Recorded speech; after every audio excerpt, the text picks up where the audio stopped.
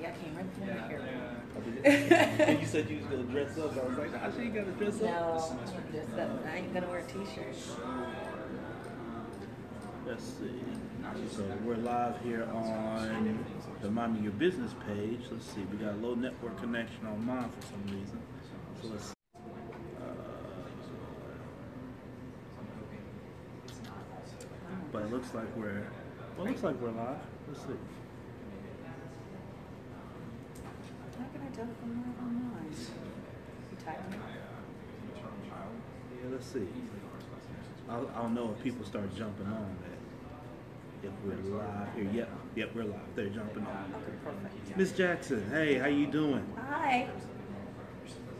So glad you could join us on this fantastic Friday, right before what is referred to as the Memorial Day holiday weekend. Shannon, how you doing? What's going on? Good afternoon to you. Yeah, everybody's jumping on Angel. Angel was the one that I wanted the know. reminders. I know. So- Hi, Angel. Hey, sunshine. So I made sure to tag her so she get all the reminders that she needs. Chris Eagleston, what's going on? Memphis to LA connection. I know. I was about to say hi, Chris. Yeah, doing this thing out in LA, definitely. I see. Uh, oh yeah, you say like that shirt? Yeah, it's my main shirt. Shout out to Elliot, uh, salesman, uh, main uh, t-shirts. That's my guy, man. So I always make sure to support him. Uh, Ernest Fields, everybody that's got their t-shirt game going, man. I try to make sure to, to support that as much as possible, as much as possible. Elliot's So, a great guy. Shout out to Elliot. Yeah, shout out to Elliot, Just because I love him. I've been giving him a hard time Oh, yeah. lately. Oh, yeah. yeah, he's been he's been taking a few L's. Uh, I know. I gave him two of them yesterday. Sorry, Elliot. No, but Elliot stay he stays in there, takes it on the chin. So Yeah, he does. definitely. Nicole, how you doing? Uh, thank you for uh, jumping on. And uh, looks like some folks. Uh, Yolanda, hey Yolanda, how you doing? What's going on? So we kind of double dipping today. We're on uh, the Minding Your Business podcast page, and we're on my page. Uh, Angel says, "Hey y'all." Hey, so sweetie. What's going on? Listen, Champ Ron, the Minding Your Business podcast. Uh, you know, we come to you every Friday afternoon. Entrepreneurship, real estate, trending news. There's no business like minding your own. So, listen, you guys are in store for a great show. We're getting ready to kick off the recording of the podcast, but you know how I like to do. I like to get you guys uh, started first here on Facebook Live.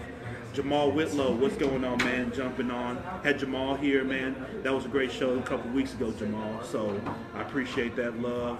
Uh, Shay's jumped on. She says hello, and uh, she's kind of doing this. So she's in uh, many spaces at uh, at once, which Yeah. is good. Anita, how you doing? Good afternoon. Good afternoon. Good afternoon to everybody. Hey, listen. We're getting ready to start again the recording of the podcast. I, I know people been waiting ever since I've been promoting this show. I know everybody's been uh, sharing and uh, liking the graphic. I put it on LinkedIn, and then all the wolves jump on. Uh, y'all, all the guys jumping on, I guess, because of Shay. So I know how y'all are. So y'all, y'all, y'all been waiting and stuff. You know, Dewan Hendricks, what's going on? Elliot, Hey, what's going on, Elliot, man? You know what we do? We've already shouted you out. We're over you now. Yeah. yeah, Shay said she'd be giving you a hard time, Elliot, I'm man. sorry. So we have to take up uh, for you, man. Oh, Elliot said you got that troublemaker on the show. He knows it. and Dewan said, what Shay Brown talking about? Oh, Everything. Yeah, we talking about everything, man. We finna get into it. We about to get into it. Uh, matter of fact, with no delay, since since y'all done jumped on, y'all giving me a hard time already. So let me go ahead and get this thing cracking. Looks like some more. Anita, Yolanda. Oh, she said, oh, thank you so much, Yolanda. I appreciate that. Yeah, that's really cool. Let's see, man. What's going on with my my deal here? Lynette, what's going on, girl? How you doing? Know it's a party once Lynette jumps. Oh, let me see. Oh, okay. They want me to go through all this. Whatever. Ashley discussed the difference between PR and marketing. Uh, we definitely go get into that, uh, Dewan. We're going to get into that because, uh, as you know, on this particular podcast, I like to make sure that we have good, clean definitions and that we're not uh, just flap it in the breeze with you know everybody thinking you know things in different uh, you know lanes and different understandings. It's, it's hard to get that when everybody's thinking taking one term and thinking something different. So right, tell them feel free to ask your questions in the comment section. Um, that way, if we get caught up talking, Ron and I both like to talk a lot. We can Yeah, look up every that- now and again and definitely. make sure we touch on those. Yep, definitely.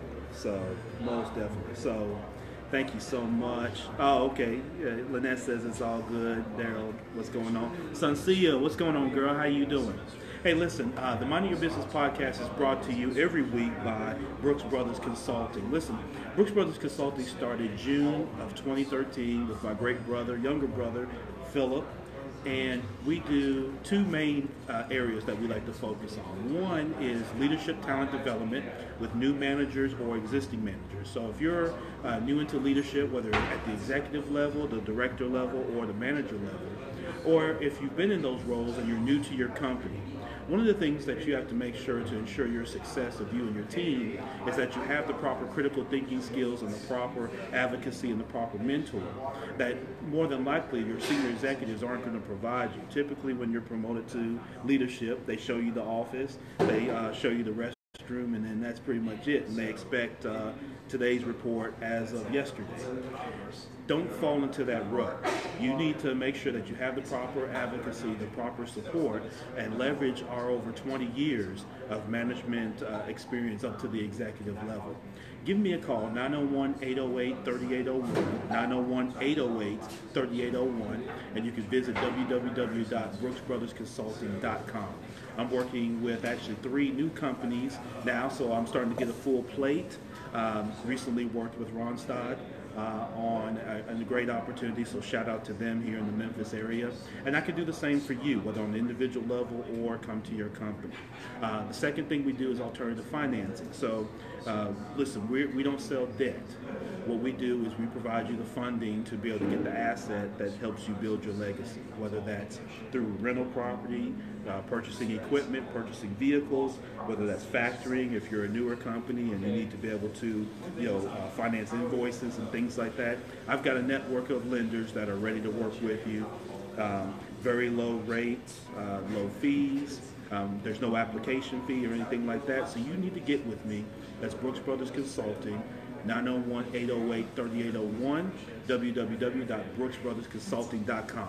Listen, we're at episode 48. I'm so excited. I've got a great guest that I'm going to introduce to you.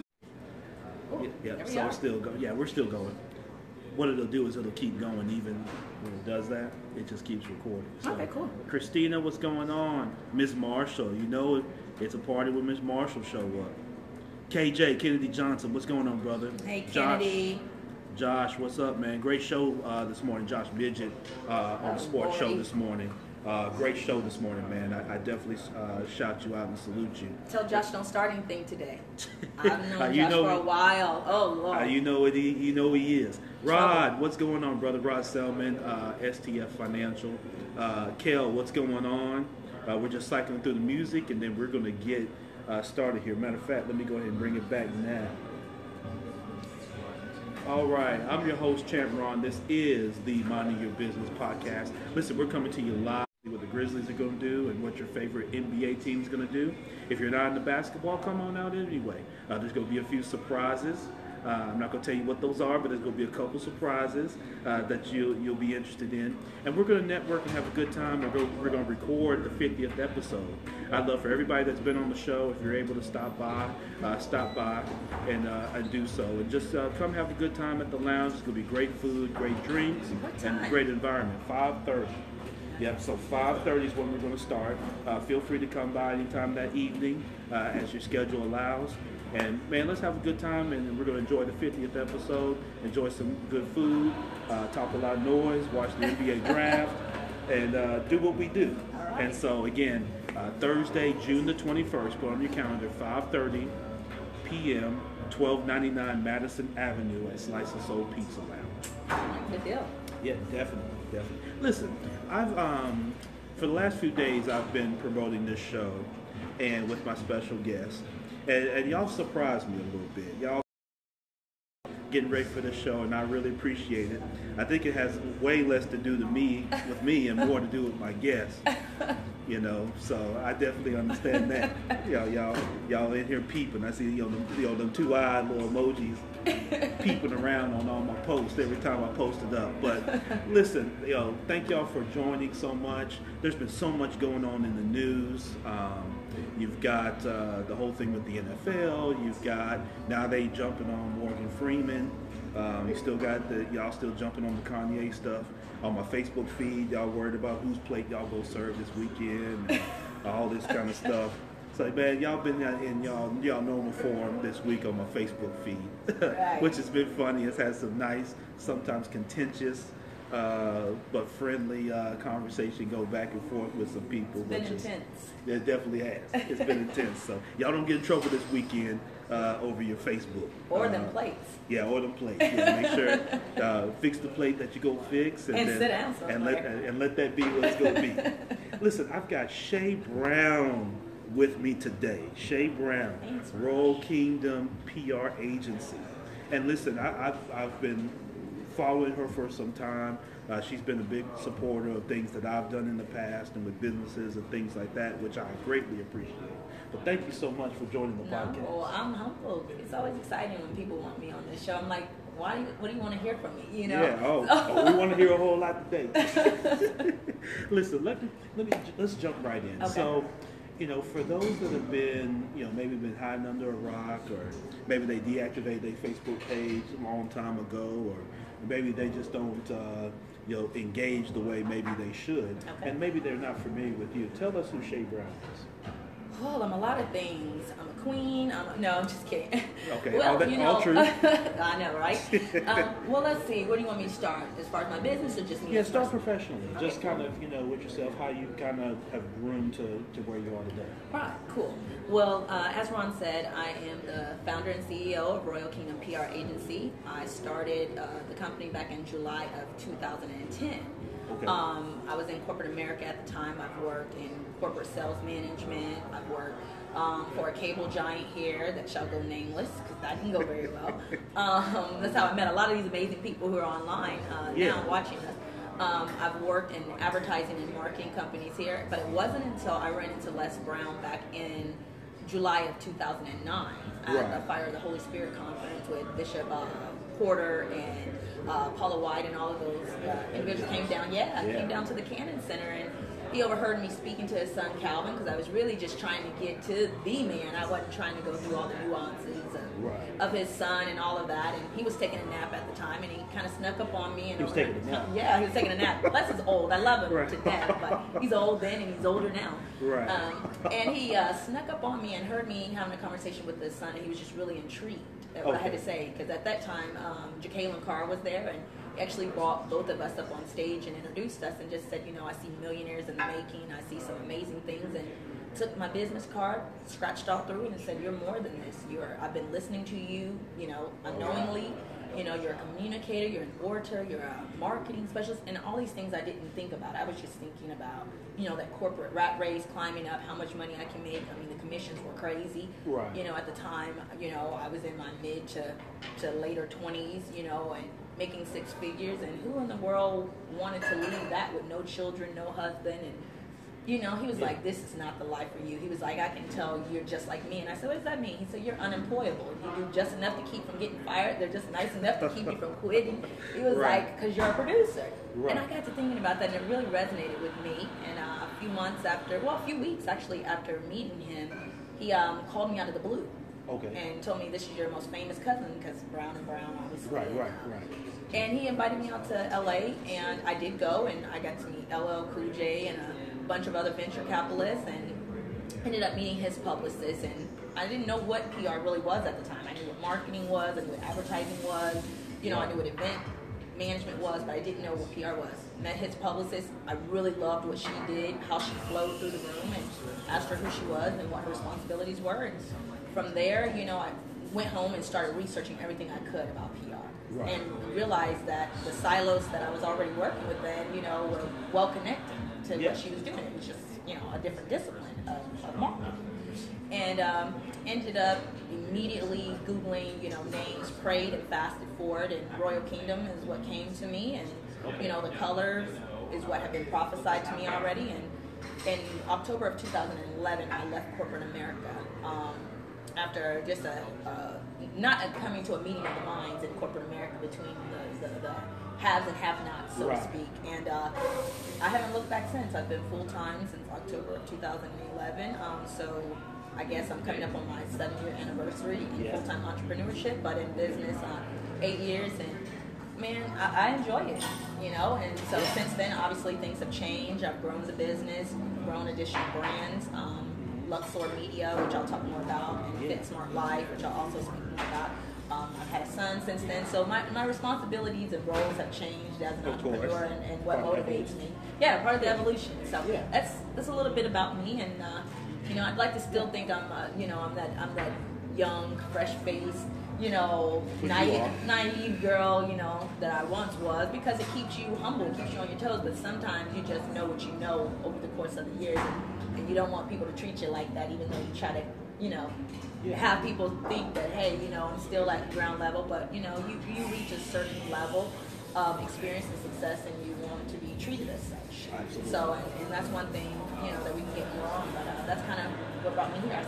Yeah, absolutely. So, so Shay, you you touched on a lot of different things, but one of the things that kind of stood out to me was your transition from corporate America, where you were doing very well, Right. and some people they may not be doing as well, or they're doing very well and they want to get into entrepreneurship, but they're fearful of letting go. Yeah. Right. And I don't know, did you experience uh, kind of a concern of letting go? Because sometimes for many people, at the end of the day, it's like say you mentioned you were you were single and didn't quite have as many responsibilities. Right. Some people they may be doing well, but then they've got kids, they got a spouse, they got a mortgage, they got a couple car loan payments, they've got student loan debt. Yeah, what's up, Chris? uh, student loan debt. I mean, all these different things. So they're sitting there and they're like, you know, I'd love to be able to do what Shay's doing, but I can't let this go, even though they treat me like sugar honey iced tea and, and all this kind of thing. So talk about your, that transition period and what did you need to see that helped you make that decision? You know, people ask me this quite a bit. You, you'd be surprised. It's probably one of the top two, three questions that I have. Yeah. I think for me, when you get sick and tired of being sick and tired, you will Let let go. go. I mean, as cliche as it sounds, you really will. When you get tired of being devalued, underappreciated, underpaid, you know, underaccepted, you know, you will. You'll let go. And I Right. think Les said it perfectly when he said, if you don't move on life, life will move on you and then you will be dragged. So either let go or be dragged. Yeah. And that's where I got to a point. I got to a point where I just started doing the math. We all claim we're not mathematicians. We're not good at math. We're not good at science, except for when people owe us. So I got to the point where I, I was thinking. I started doing the math. I said, okay, I'm bring, producing this many sales. That's producing this type of revenue for this many years. I'm working this many hours. This is happening over the course of three months, six months, twelve months. And I started doing the math versus what they were paying me, regardless if it was close to six figures or six figures versus what they were actually making off of me. And I got to thinking it wasn't even a percentage. So yeah, you don't mind paying us eighty thousand, you don't mind paying us ninety thousand, you don't mind paying us hundred thousand dollars a year, you don't mind giving us expense accounts and all that. You know why? Because you literally made millions off of me in one month. Right. That's not even a fraction of what I felt like was owed to me. Yeah. And so I got to the point where I knew that I could do better. Right. And when you know you can do better, then you start planning. So many people are afraid because they don't know where to start. Right. Sometimes you just have to get started. You'll never move if you don't take a step. Yeah, you gotta take You a know, step. you have to take, a, step. take a step. So for me, it was the planning. When I got to the point where I could see that upward movement wasn't the game, because why would they want to move up a producer? You're selling. That means if they move you you right there. upward, you won't sell. You won't make any money. And I started getting the revelation early on. They're never going to promote me because I'm a closer. I even had a manager tell me one time, and, and, it, and it used to piss me off, and we'll talk about it in the Me Too movement. He would tell me, and some of my colleagues on here that have worked with me that are on here can tell you, go put on your quarter skirt today. Yeah. Quarter skirt meaning I want you to go to all the automotive shops. I want you to go to all of the mail-based businesses. Put on your pencil skirt, close Right. deals. Now I've heard that in a different term, but I haven't Yeah, heard it. put on your quarter skirt. and when I realized this God. is, he was always going to use me as that struggling monkey, you know, uh-huh. that puppet. I started realizing there's never going to be an opportunity for advancement here. Mm-hmm. I'm running all your events, I'm running all your trade shows. I'm, you know, I'm dividing the leads. I'm the only one that really understands how to run these things properly, and the only one you can really count on and dependable enough to be fair, equitable, to show up, to set up, close down, break down, all those types of things. And I Right. started thinking, why? If I was them, I wouldn't let me go either. I wouldn't let me promote either. And so then it started. It started making me bitter, and so I started hating the sight of going to the job. Yeah. You know what I mean? And I cherry pick and pocket all my leads until right before quota. You know, like the last week, and then I shoved it through. Shoved it and then he'd be like, "I know you have more than this. I know you've been holding on to these." And I would do it every single month. And when I got to the point where I felt like I couldn't give my best anymore, I said, "I'm going to have to put an exit strategy together." Yeah. So many people are afraid to put an exit strategy together because they're afraid of the unknown. The reason you're afraid of the unknown is because you like the comfort of what's mm. there. You don't Yeah. want to have to do all the legwork. It's easy because guess what? They have the funding, they have the operations, they have the computers, they have the, the technology, they have the up. infrastructure. Yeah, you don't have to think. You just show up. Yeah. And I think for some people, half the battle in entrepreneurship is showing up. They don't want to be disciplined enough to get up on time. They don't want Hmm. to be disciplined enough to work on the weekends. They don't want to be disciplined enough to say, I'm not going to get my hair done. Like, it's been two weeks since I got my nails done. Don't look at my nails, people. I normally keep them. You know, but I'm going when I leave here. Right. it was a, it, it's, it's choices that you have to make. You Right. know, it's it's the reinvestment into your own business. You want other people to invest in you, but you don't want to invest in yourself. That's not how that works. I can legitimately, my tax um, preparer can tell you, I've spent over two hundred thousand dollars in my business in reinvestment. Yeah. You know, I have some things I'm doing now that are going to cost me thirty-four thousand dollars, but you know, to do some things with the PGA. But the kind of return that I will get out of that, I'm betting on me. Most people are afraid to bet on themselves because they know themselves. Think about it. Yeah. They know themselves. Yeah, I'm not going to get up at 6 a.m. every day and be prepared to work. I'm not going to work out so that I can get all these, you know, my brain moving and all the oxygen in here. I'm not going to eat properly, so I'm going to be sluggish. I'm going to cram coffee down all day, and I love coffee like the next person. You know, I'm not going to. Um, I'm not going to create work-life balance so that I can be, you know, in my best self when I'm working. I know me. So guess what? I'm afraid to let go, not because I can't do it, but because I will choose not to do it because Right. I'm my own boss now. Yeah, because you want they, they want to invest in themselves. Yeah. Everything you just said is they, I, they know themselves that they're not going to. They know themselves. Right. And I had to They're get to that point. I know myself. And that's why I knew myself. And I knew if I didn't leave corporate America, I knew I was either going to catch a case.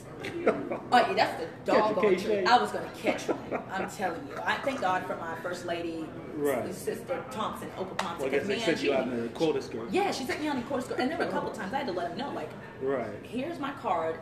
Get me bell. Here's my bell money. Call my mom once I get there because Right. it became that crucial. Yeah. When it becomes that crucial, where you're going to lose yourself, your integrity, and everything that your family has, you know, you, you know, uh, instilled in you, it's time to go. And I think for Yeah. most people, the leap is the fear that they can't maintain. The reason you can't maintain is because you're not willing to do anything different. Right. You know, Fred Smith, um, you know, the Roberts that own Comcast, you know, all these Mm-hmm. celebrities that you see, when they talk about Beyonce, no one has a work ethic like her. She bet on herself. Who would have thunk when she left the group, you know, that she would be able to do what she's been able to achieve? But she bet on herself. Exactly. And so I think for me, it's the fact that I was stubborn enough to be disciplined enough to say, screw all of you. I'm going to make this work. And then I put a plan in place. I didn't just hop and leap. I started saying, okay, I'm going to need this much money. This is what my bills look like. I devised a 10 year strategy and I was able to leave in 18 months. I see that's why, and you've said that word a few times, Shay, which is the word strategy, Mm-hmm. which is you didn't just, you know, some people jump on the other side of it, where they just Yeah. jump and leave stuff and don't have a plan, Right. and they don't account for the, the, the runway or the, the time piece Mm-hmm. of it.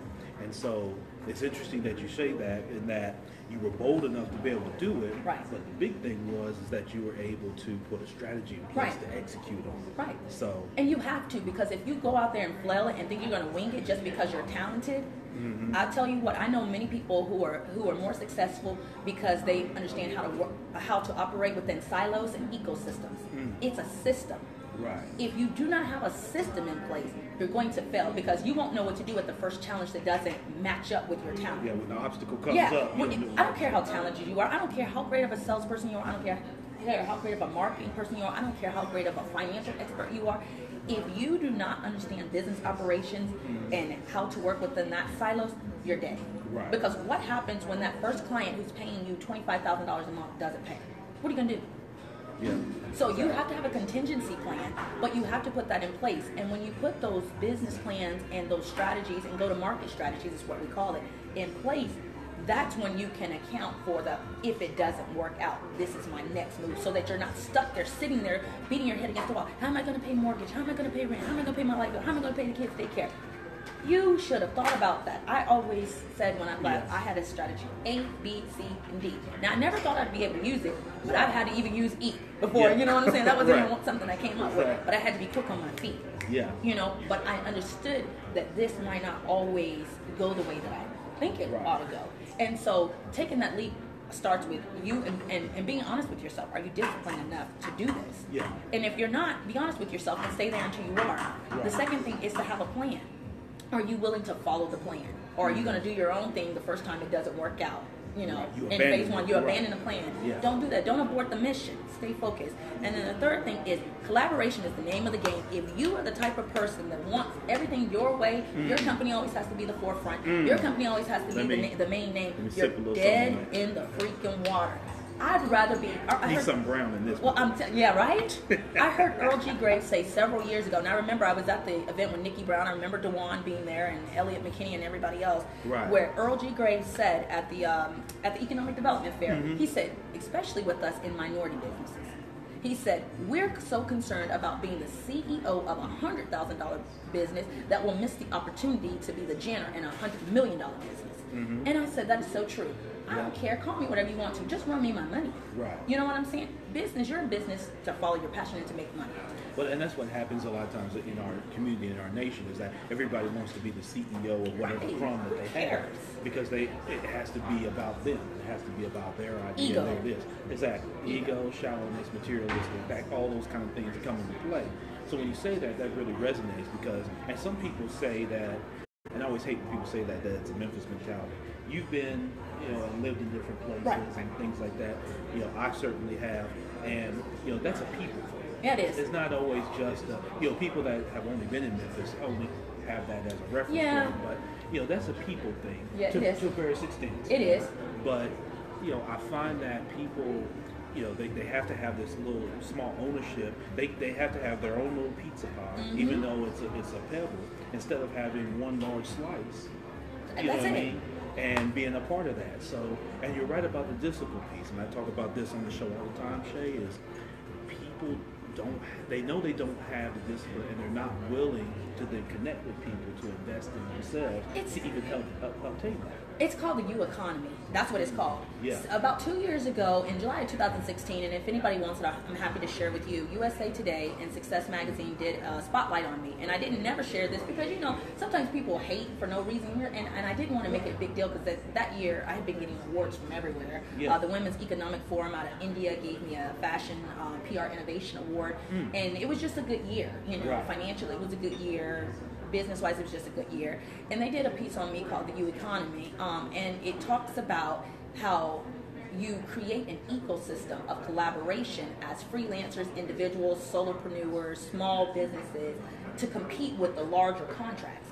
And they asked me, how was I able to compete with larger clients? Because I've been able to work with companies like Reebok Watches, Twinlab, which is the, the largest supplements company in the world. I was the PR director for them. I helped secure the Reebok Watches deal um, and the and the retail partnership that they had with Kohl's. They flew me to um, New York to Manhattan. We were in a, hotel room and we did a big Skype session. Right. And it was Macy's, Dillard's, and Kohl's. And they wanted someone who understood the urban millennial market. I'm an urban millennial. Right. So at the time, obviously, Rick Ross was doing the punk watches and all that kind of stuff, and they Yeah. needed me, you know, to be that voice of reason, to come from that background, to have that experience, but also to be able to implement that as part of a go-to-market strategy and to choose that retailer.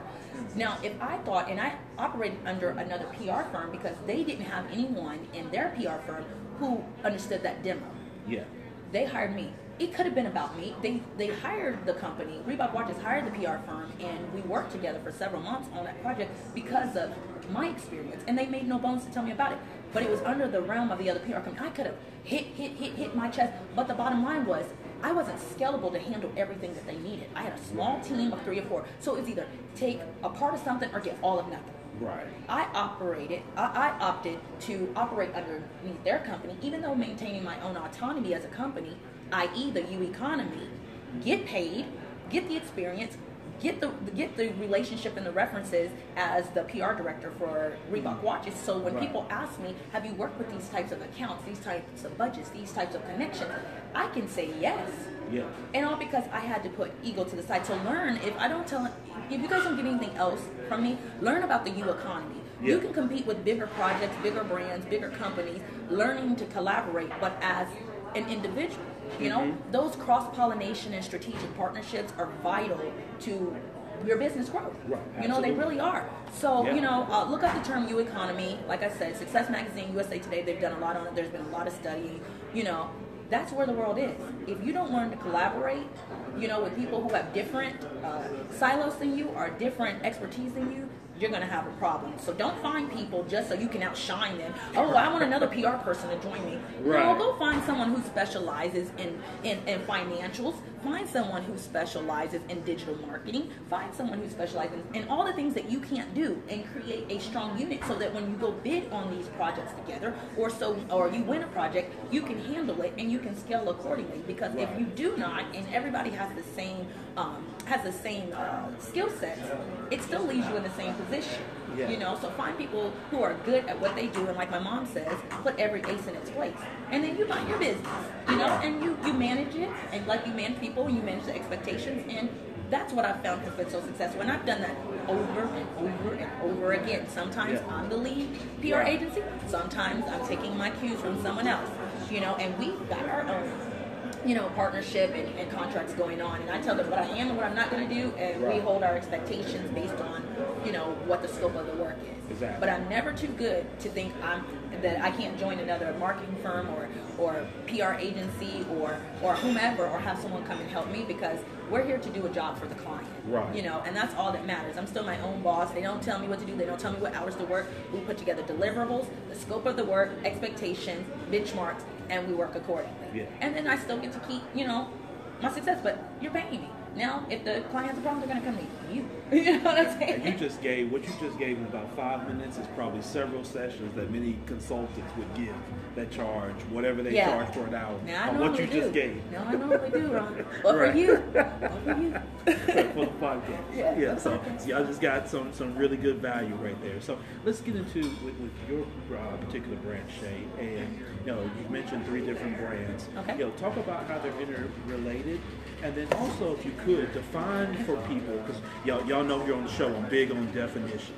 Um, define the, what is public relations and how is it different from marketing and advertising? Because I, you know, a lot of this with the advent of social media that and the internet, it's allowed people to get into business maybe a little more streamlined and uh, certainly much more cost effective than they could in the past. You, know, you and I remember a day when you know, you know, to get in business, you had to you know get a venue, you had to you know print and you know run around and you know sell things out of trunks and Oh, run all yeah. over. Yeah. So now you got the internet. So you know, define, you know, and, you know, connect your businesses for us, and then define public relations to marketing to advertising. Okay, sure. Well, uh, Royal Kingdom PR handles mainly publicity, anything press, media related, media training, um, satellite media tours, all that kind of stuff. Um, anything that deals with the from the from the media to the controlling the messaging, the content development. That's kind of where I focus. Um, within Royal Kingdom PR, I've gotten very tight on the types of clients that I take. So generally, I will take tech, sports, fitness, wellness, um, luxury, and then if I do a one-off, you know, like agriculture or something like that, it has to be like part of something that I, I can do, like crowdfunding or strategic partnerships or something along those lines. Right, but right. those are one-off chances, and I mainly stay in that, uh, and then uh, lifestyle, wellness, and beauty, Okay. food and beverage. That's all I do. Now with Luxor Media, Luxor Media is the media production arm of uh, Royal Kingdom PR and Fit Smart Life, which I'll talk about. So we do everything from all the digital stuff goes through Luxor Media. Okay. Um, all of the event production and logistics go through Luxor Media because we do everything from front of the house to the back of the house. Um, and we also do sponsorship development, which a lot of companies don't do, but we understand how to bring brands on board. and how to align them, you know, with events and or you know an influencer. Right.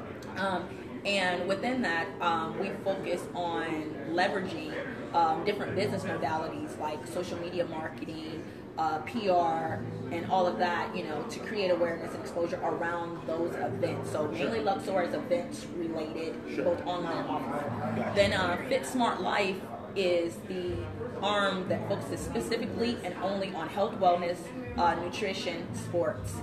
That's it. And like you know, tech as it relates to those other Those, you know, you know, particular yeah, those Yeah. particular lanes. Yeah. And um, within that, it's also an influencer agency. So the people that are on board are, you know, actual individuals. So they're pro athletes, nutritionists, dietitians, um, you know, health and wellness providers, that type of thing. Um, so we can stay within that ecosystem, you know, Right. right there. And what we do is we produce both uh, online, offline media tours, both co-op media tours uh, and satellite media tours um, aligning those brands with each of those influencers so that they a get the revenue streams, you know, because we're obviously driving traffic, utilizing our platforms, but they also get the exposure, you know, because they're leveraging their their audience, their networks, their demographics, and we make sure that they line up. So if a snack bar is looking for, you know, young athletes that are between the ages of 16 and 34, and you know they, they look up to pro athletes, you know, Right. their sports, you know, they do a sport at school, blah, blah, blah. Obviously, we'll have someone like Cliff Brown, who, full disclosure, that's my brother as well, but he's a client. Right. And, uh, you know, he used to work for the Cincinnati Bengals. Now he's a pro athlete trainer, um, NFL, MLB, uh, you name it, NBA. Um, and recently soccer, so I'll go to him and say, okay, I either want one of your guys or can you do this? And I'll position that as a part of Fit Smart Life and say this is what we'll do, and I'll create a whole tour uh, where media they get the media exposure because the athlete or you know or Cliff is you know promoting the brand, sponsoring it, and then they'll come out and either cover it, and then they get the brand product integration because of that. You know, Right. so they hire us to do that. So we do all the production stuff, but that goes through Luxor. So everything works differently. What I've learned in business is you don't have to keep everything under one umbrella. Mm-hmm. Learn to dissect your businesses so that when you create your strategies, your both go-to-market strategies, your business plans, your marketing plans, you can focus on true research and development. You know, the R&D is important. So now if I'm thinking about Fit Smart Life, I'm only focusing on brands in this department, this Right. age group, this audience, this location, this you know modality is all I need to focus on. If I'm focusing on Luxor Media, I'm focusing only on event spaces. So whether it's the Oscars or the or the ESPYS or the Grammys, I know what kind of people you know tune into those types of things, what that audience looks like. If I'm Right. dealing with Royal Kingdom PR, I know the types of clients that I'm dealing with. If I'm if I'm uh, consulting people about food and beverage products, this, that, the third, I understand. So it gives me an opportunity to focus on each individual industry or, or lane Right. and then the plans match accordingly so I don't have to keep crossing over. And then I have teams that handle each of those various groups because everybody can't do sports. Right. But everybody can't do lifestyle and beauty. Yeah. Or everybody can't do events. And you know, most people they you know they stick that all under one roof. No. So they'll go and they'll create. Uh, you know how our folks are. You know, we talk about everybody won't be. So they'll go create uh, Shay Brown Enterprises, right? And then dump a hundred Yes. different initiatives under that. So whether you go to their website or when they promote on Facebook, they promote a hundred different things that they do. Hey, you know, we, we'll, we'll watch the baby, we'll fix your computer, um, we'll, we'll uh, serve and protect as uh, law Yeah. enforcement. We'll uh, set up your uh, web page. You know, we'll uh, Right. do what. You know, so we'll do. That's the worst. things. Don't do that because it makes it hard for potential customers to gauge what you actually do. Right. If I go to a website and I see, like you said, I wash babies, cook clothes, walk dogs, and I also am a computer software engineer, I'm going to be like, you're none of those things because you're, you know, a, a master of none. Right. You know, and that really gives a bad taste in people's mouth because it looks like you have no clue, you don't have a cohesive go-to-market strategy, you don't have a